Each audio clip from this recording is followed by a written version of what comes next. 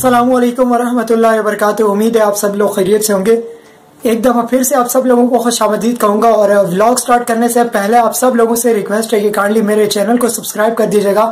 और जो इंस्टाग्राम और फेसबुक पे देख रहे हैं, आप सबसे भी रिक्वेस्ट है कि मेरे पेज को लाइक कर दीजिएगा। तो दोस्तों इंडिया और इंग्लैंड के दरमियान जो आईसीसी टेस्ट चैंपियनशिप के सिलसिले में सीरीज़ जारी है आ, उसके सिलसिले का आज पहला टेस्ट मैच है जिसका अख्ताम और इस टेस्ट मैच को इंग्लैंड ने बहुत बड़ी बढ़तरी से अपने नाम किया है। तो आईसीसी टेस्ट चैंपियनशिप के जो फाइनलिस्ट दो टीमें इनमें से है जैसे कि आप सब लोगों को पता है कि न्यूजीलैंड ऑलरेडी क्वालिफाई कर चुकी है और लेकिन दूसरी टीम जो न्यूजीलैंड के मध्य मुकाबले होगी उसका अभी फैसला होना बाकी और वो जो फैसला होगा उसका डिपेंड जो इंडिया और इंग्लैंड के दरमियान जो टेस्ट सीरीज़ आजकल जो जारी है, उससे ही होगा। तो उसी सिलसिले का आज पहला टेस्ट मैच इंडिया के शहर चेन्नई में खेला गया। उसके अंदर इंग्लैंड की टीम ने बहुत बड़ी कामयाबी हासिल कर ली है। और इंग्लैंड की टीम की अगर बात करें तो उनके पास बहुत ही बेहतरीन उनके कैप्टन जॉय रूट की सूरत में बहुत बड़ा खिलाड़ी मौजूद है। और जॉय रूट जो है, रिसेंटली जो श्रीलंका के खिलाफ सीरीज़ खेली गई थी, उसमें भी उन्होंने एक डबल हंड्रेड किया था और एक सेंचुरी भी की थी। जिसके बाद उन्होंने श्रीलंका को वहाँ क्लीन स्विप करके वो लोग इंडिया के खिलाफ सीरीज़ खेलने के लिए आए थे। तो इंडिया की टीम की अगर बात करें तो वो रिसेंटली ऑस्ट्रेलिया के खिलाफ सीरीज़ जीत के आई थी। तो वहाँ पे जो उनका पहला जो टेस्ट मैच खेला गया था, उसके बाद उन्होंने जिस तरह से कम बैक किया वो सारी दुनिया देख के हैरान हो गई थी इंडिया के। और इंडिया ने जब पहला test match Adelaide cricket ground में 36 पे ऑल आउट हो गई थी और इसके अंदर उनके जो कैप्टन विराट कोहली थे वो भी शामिल थे, लेकिन पहले टेस्ट के बाद इंडिया के जो कैप्टन है कोहली, वो नजी मसरूफियात के बाद मुल्क वापस आ गए थे, लेकिन उसके बाद इंडियन टीम के गुप्तानी अजनकिया रहाने करते रहे। और दूसरा टेस्ट जो है, मेलबर्न क्रिकेट ग्राउंड में खेला गया, उसमें जो इंडिया ने कम करते हुए मैच जीत लिया। और तीसरा टेस्ट मैच जो है, सिडनी क्रिकेट ग्राउंड में खेला गया, उसमें जो है, इंडिया ने बहुत बेहतरीन मुजामत करके वो मैच ड्रॉ किया। और चौथा और फैसला कुन में जो वुलन गाबा ओवल में खेला गया, उसमें जो है, इंडिया ने बहुत बेहतरीन परफॉर्मेंस दी और ये सीरीज़ जीता और वो मैच भी जीता। लेकिन उस टेस्ट टीम की बात करें तो इंडिया की वो पूरी टीम जो नहीं थी वहाँ पे उनके जो मेन खिलाड़ी थे, सारे बाहर हो गए थे। इसके बावजूद इंडिया ने वो बेहतरीन खेल का मुजाहरा किया। लेकिन इंग्लैंड के खिलाफ जैसे अगर पहले टेस्ट की बात करें तो इंडिया की टीम बहुत ज़्यादा स्ट्रांग थी और उनकी टीम जो उनके मेन प्लेयर उसमें मौजूद थे, विराट कोहली थे अशांत शर्मा थे, जसप्रीत बुमराह थे तो उनकी पूरी टीम एक तरफ़ से पूरी तरह तैयार थी।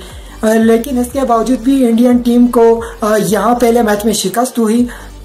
ओवरऑल इस पूरे टेस्ट मैच की बात करें तो तीस साल या खिलाड़ी जो है जॉय रूट इंग्लैंड टीम की नुमाइंदगी कर रहे हैं तो उन्होंने जो है पहले मैच में, पहली इनिंग्स में जो है 200 और 218 रन के लिए उन्होंने पूरे आठ घंटे और छप्पन मिनट तक मुसलसल बैटिंग करते रहे। इसकी बदौलत इंग्लैंड की टीम ने पाँच रन बनाया पहली इनिंग्स में। और इंडिया की जानब से पहली इनिंग के अंदर रविचंद्रन अश्विन ने तीन विकेट हासिल की और उनके साथ जसप्रीत बुमराह ने भी तीन विकेट हासिल की।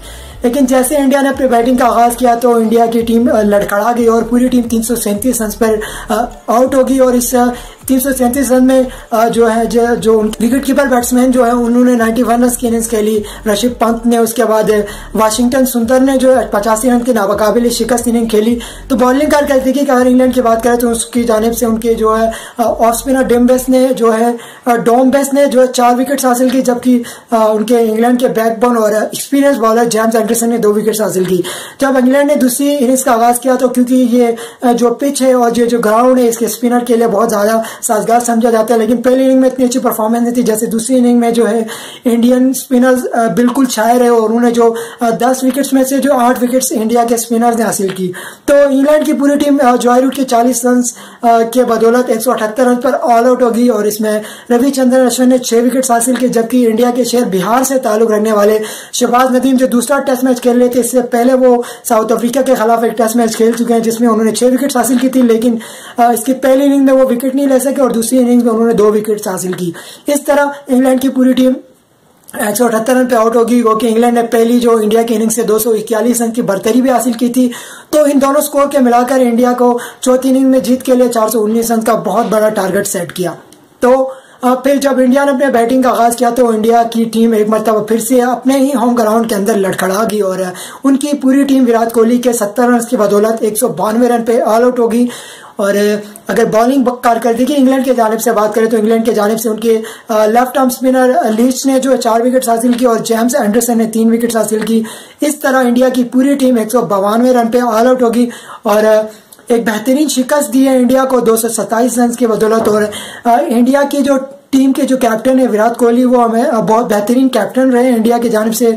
जैसा कि उन्होंने 2008 के अंडर 19 वर्ल्ड कप में इंडिया की नुमाइंदगी की थी और कैप्टनसी की थी, वहाँ पे उन्होंने कोलमपुर अंडर 19 वर्ल्ड कप वो आप सबको पता है, जहाँ पे विराट कोहली ने बेहतरीन परफॉर्मेंस देकर वो जो वर्ल्ड कप जो इंडिया के लिए जितवाया था तो अब भी विराट कोहली जो है इंडिया टीम की नुमाइंदगी कर रहे हैं, जबकि इंग्लिश टीम की कप्तानी जो है, जॉय रूट कर रहे हैं। उनकी परफॉर्मेंस बहुत ही लाजवाब रही है उनकी जो श्रीलंकन टूर को देख लिए, और इसके अलावा इंडिया के खिलाफ उन्होंने मुसलसल तकरीबन नौ घंटे बैटिंग की, और अपनी टीम को बहुत बेहतरीन स्कोर सेट किया। पहले नहीं है, जिसके बाद उन्होंने बेहतरीन कम किया, और ये मैच अपने नाम किया। तो इंडिया की जो टीम है और इंडिया के जो चीफ सिलेक्शन कमेटी है, उनके लिए लम्हे या फिक्रिया होगी क्योंकि उनकी जो इतनी बेहतरीन और स्ट्रॉन्ग टीम जो अपने ही होम ग्राउंड के अंदर हार चुकी है। और, एक हिसाब से इंग्लैंड ये टेस्ट मैच जीतकर आईसीसी वर्ल्ड टेस्ट चैंपियनशिप के लिए एक स्टेप आगे बढ़ा है और एक साइकोलॉजिकल जो बर्तरी थी वो भी हासिल कर ली इंडिया के खिलाफ। लेकिन अब तीन टेस्ट मैचेस मजीद होने हैं, जिससे ये फैसला होना है कि कौन सी टीम न्यूजीलैंड के खिलाफ लॉर्ड्स के ग्राउंड में जो आईसीसी वर्ल्ड टेस्ट चैंपियनशिप का फाइनल खेलेगी।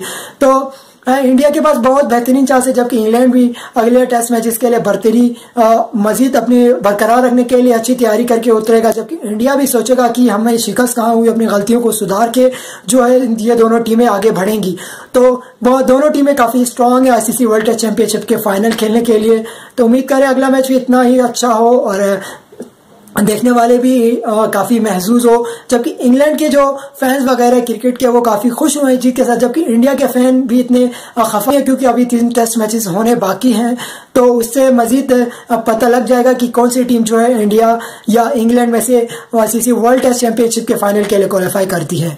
तो ये था आज का व्लॉग उम्मीद है आपको अच्छा लगा होगा। अपने और अपने मुल्क का ढेर सारा ख्याल रखना है। मुझे अपने दुआओं में ज़रूर याद रखना है। मिलते हैं नेक्स्ट वीडियो में। तब तक के लिए अल्लाह हाफिज पाकिस्तान। जिंदाबाद।